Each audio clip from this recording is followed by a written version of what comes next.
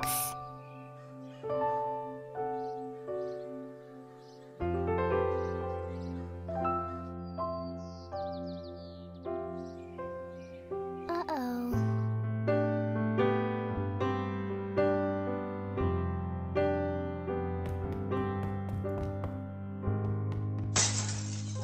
sorry.